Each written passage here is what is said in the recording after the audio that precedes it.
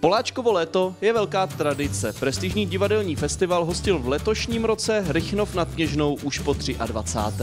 pod záštitou ministra kultury České republiky a Rady Královéhradeckého kraje. Pojďme se podívat, jaké bylo Poláčkovo léto v roce 2016. Původní představení patřilo dětem. Spolu s herci z mladé scény s Ústí nad Labem se vydali na Gulliverovi cesty do země obrů. Pohádkový příběh podle populárního románu Jonathana Swifta, plný triků, humoru a dobrodružství. Kdo by snad je královna. Poláčkovo léto není jen divadlo, ale každý rok i celá řada hudebních vystoupení. A tak nádvoří Kolovradského zámku slyšelo populární oboroch. Tahle kapela hraje od roku 1988. Hlavním tématem koncertů jsou biblické žalmy, nepřehlédnutelní Slávek Klecandr a Roman Dostál. Well,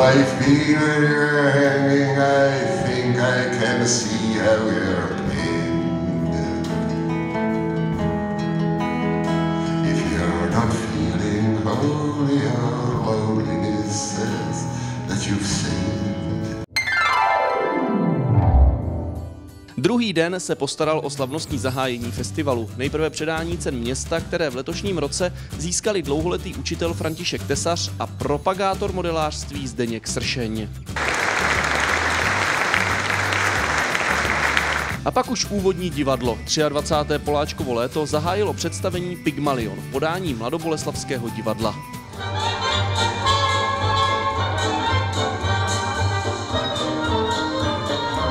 Já si jednak myslím, že je to prostě na deset dní e, příležitost e, pro rychlováky, aby e, měli kam jít, aby se mohli nějak potěšit, zapomenout na to, co v tom běžném životě Eh, je obklopuje. Představení Pygmalion je notoricky známé. Profesor Higgins se vsadí, že z ušmudlané pouliční květinářky Lízy Doolitlové udělá vznešenou dámu, která okouzlí londýnskou smetánku. To se mu samozřejmě povede a z Lízy se během hry stane sebevědomá žena. To vše na pozadí kuriozních situací a situačního humoru. Se učí francouzsky, no. A dává půlku do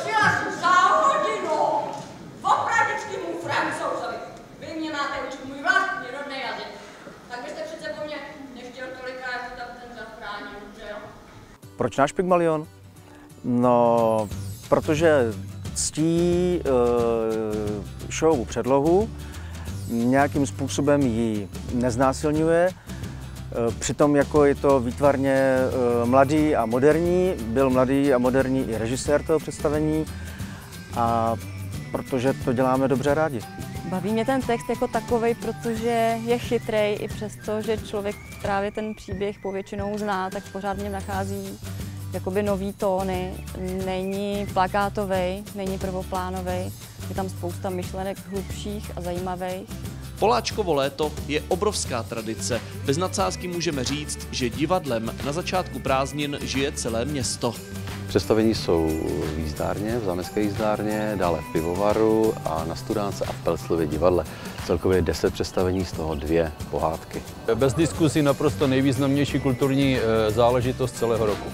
My podporujeme finančně konání eh, Poláčkova léta. Eh, pro nás Poláček je velmi významná osobnost našeho kraje a myslím, že i Rychnova. Já jsem vděčný zde Rychnovákům, že právě tuto akci konají. Ty vlasy vždycky vlajou jako hříva nádherný kobily a mají přesnou barvu našeho piva. Takže když si při práci na žízeň nebo večer na zdraví připijeme, tak vždycky pijeme ty nádherné vlasy naší paní správcové. Dalšími dvěma festivalovými dny pokračuje 23. Poláčkovo léto, tentokrát na nádvoří Rychnovského pivovaru, stylově představením postřižiny v podání Mosteckého divadla. A kdo je to, Francin?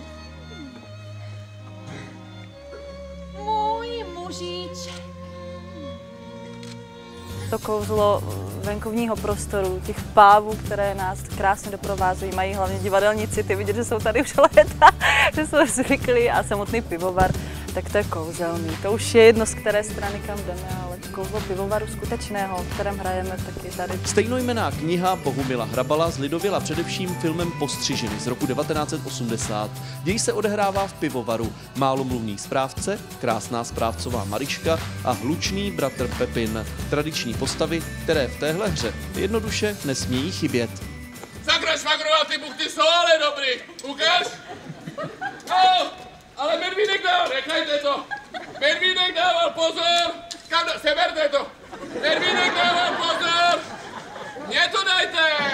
Já jsem byl zvědavý, s čím přijde pan režisér, s jakým textem a musím říct, že to je není první hrabal, ve kterém hraju a vždycky to dělal jiný režisér, vždycky k tomu hrabalovi přistupoval jinak, vždycky nějak poeticky a mně se to teda moc líbilo, že vlastně tu poetickou věc Hrabalovu eh, přivádí na jeviště v té hrabalovské poetice se vším tím, co k tomu patří. Tam jsou i snový obrazy a prostě mně se to líbí. No, Mostecké divadlo hraje na nádvoří pivovaru už po desáté. Organizátoři připravili dvě představení. Obě jsou beznadějně vyprodaná. Všichni to mají rádi, všichni se na to těší.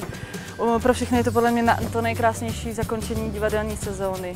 To je pro nás vždycky takový jedem do Rychnova, konec sezóny budou prázdniny.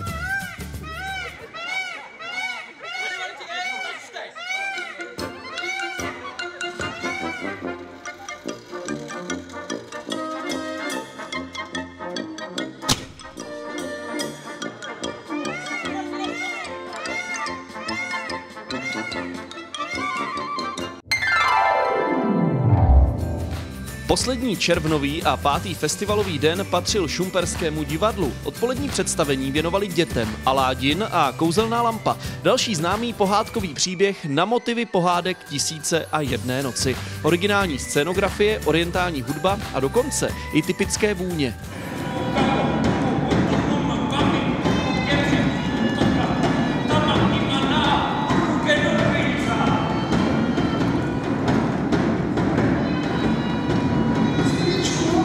Stejné divadlo večer v zámecké jízdárně zahrálo D'Artagnana, tradiční mušketýrský příběh v hodně netradičním provedení.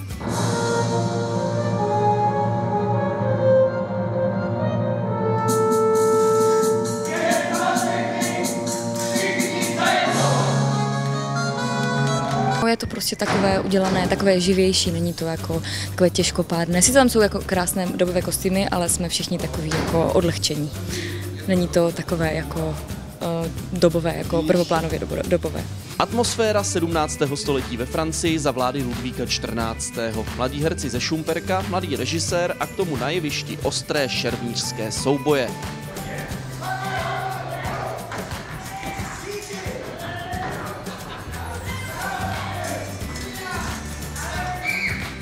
To vše dělá představení výjimečné to bylo velké překvapení pro mě, že mi zrovna vyšla tahle role jako taková první velká a první, ke které, díky které jsem se vlastně dostal k herectví nebo chtěl dostat.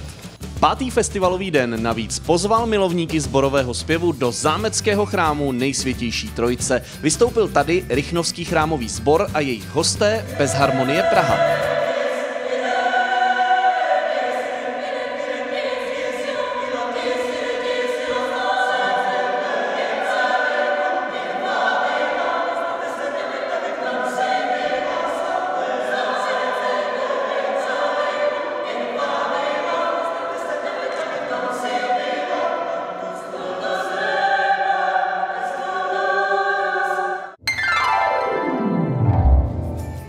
Gitar Arte Trio, Jindřich Kauferst, Ivan Šoltis a Stanislav Prokeš. Hudba z období renesance, baroka, vážná hudba, ale i hudba latinskoamerická a španělská zněla sálem Kolovradského zámku a loveckým sálem na zámku v Kvasinách.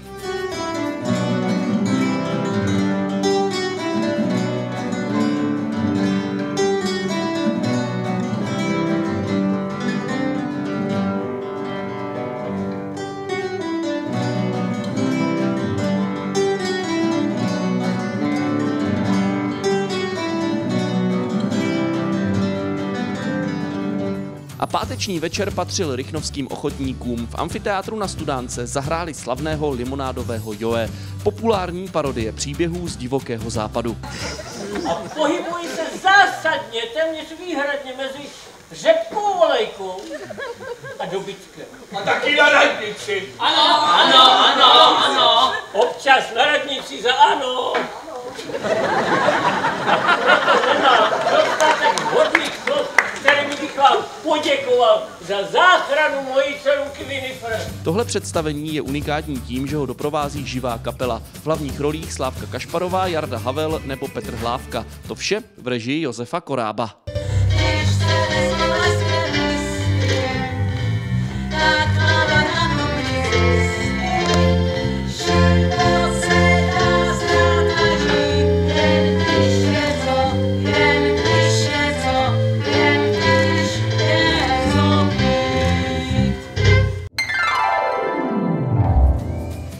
Program dalšího dne se postaralo hradecké Klicperovo divadlo. Původně měli hrát představení Periférie, které ale kvůli nemoci v souboru na poslední chvíli nahradilo představení Bezvab a Kutloch.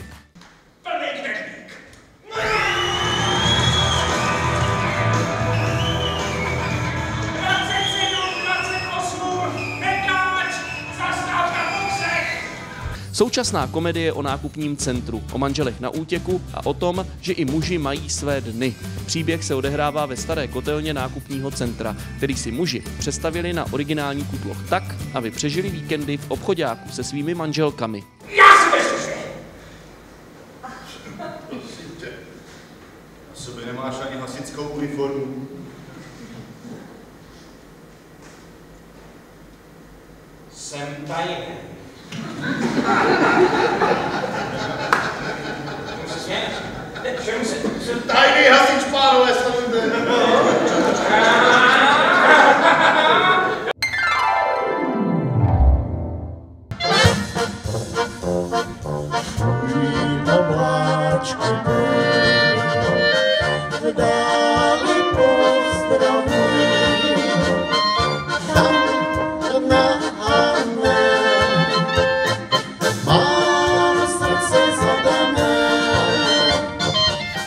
Nedělní odpoledne patřilo na nádvoří Rychnovského pivovaru milovníkům dechové hudby. Na zdejším nádvoří za krásného slunného počasí vystoupila první východočeská stabilní dechovka, tedy kapela složená převážně z muzikantů z Týniště nad Orlicí.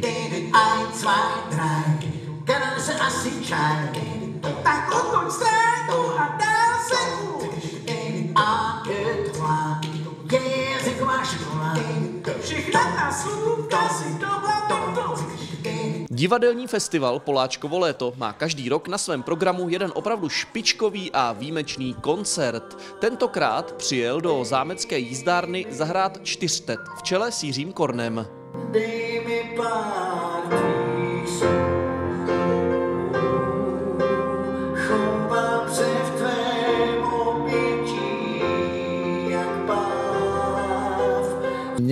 já jsem docela milé překvapen, protože jsem si myslel, že budeme v takovém holoprostoru a jsou tam závěsy, bude to v podstatě takový eh, opravdu divadelní představení, jak by to uh, být mělo a jak to chceme dělat, takže uh, zvukově nevím. Každopádně je tam vyřešená krásně elevace dozadu, tak si myslím, že pro publikum je to ideální. Čtyřtet přivezl do Rychnova koncertní verzi svého vystoupení číslo 4. Je to dvouhodinová show plná skvělé muziky a humoru.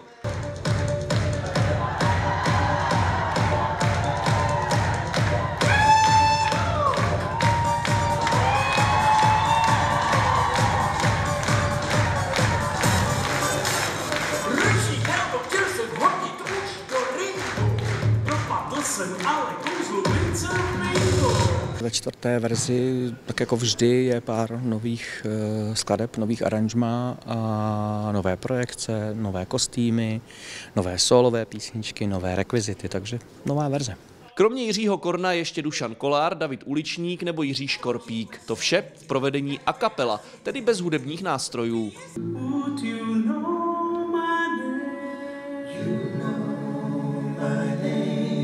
If I saw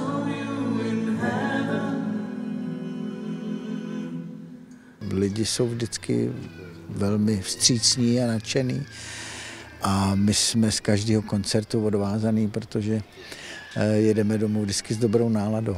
Zněly populární melodie, muzikálové hity i vážná hudba. Ve vokálním provedení má tahle muzika opravdové kouzlo. Pro čtyřtet to byl poslední koncert před letními prázdninami. Děkujeme za krásný večer.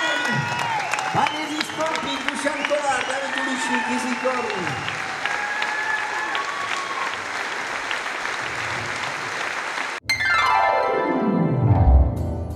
Další den ovládli jeviště zámecké jízdárny herci Pardubického východočeského divadla. Přivezli hru mezi nebem a zemí. Je to romantická komedie o soužití dvou světů, po které začnete vnímat vlídné duchy a strážné anděly kolem sebe. V hlavní roli Petr Dohnal, Petra Janečková nebo Tomáš Lněnička. To vše v režii Kateřiny Duškové.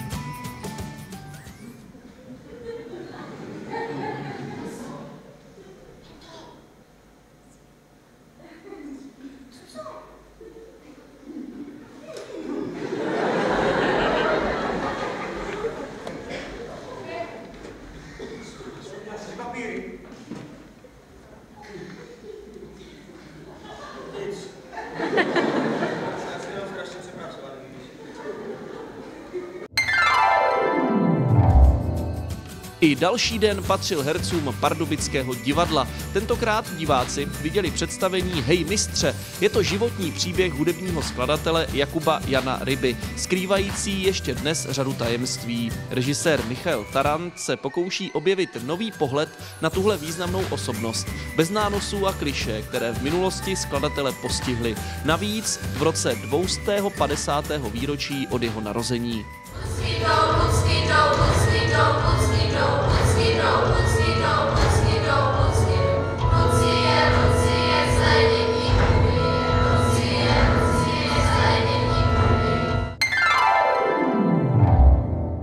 Závěrečný den Poláčkova léta obstarala hudební komedie, která diváky zavedla do 30. let minulého století. Sleské divadlo z Opavy zahrálo reviální operu Hledám děvče na Boogie Woogie.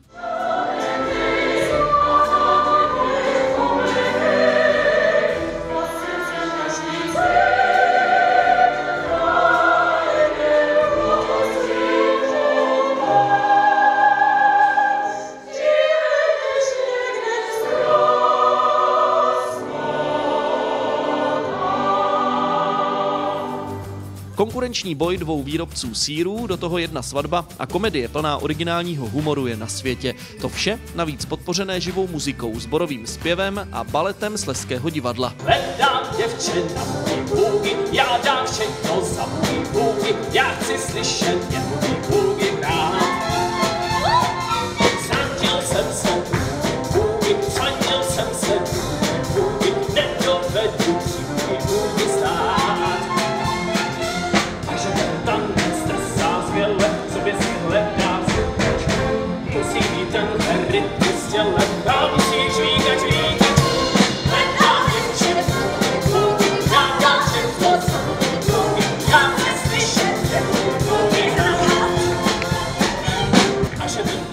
Poláčkovo léto v roce 2016 přilákalo tisíce diváků. Pro Rychnov nad Kněžnou je to bez pochyby největší společenská a kulturní událost roku. Už teď organizátoři připravují další 24. ročník Poláčkova léta.